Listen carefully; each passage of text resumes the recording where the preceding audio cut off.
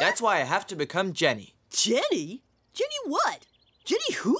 That's the name I chose. For when I'll be a girl. Don't you believe him, Merwin? He can't transform into a girl.